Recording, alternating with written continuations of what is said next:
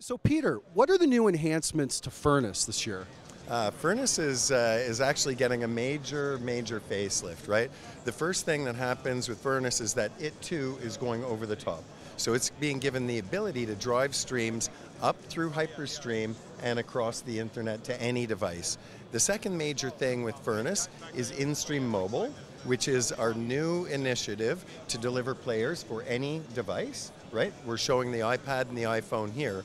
And the third major thing is we're previewing Furnace 6.3, which has all new workflows for recording and automatically publishing rich media content. So those are three very exciting things going on with the Furnace this year.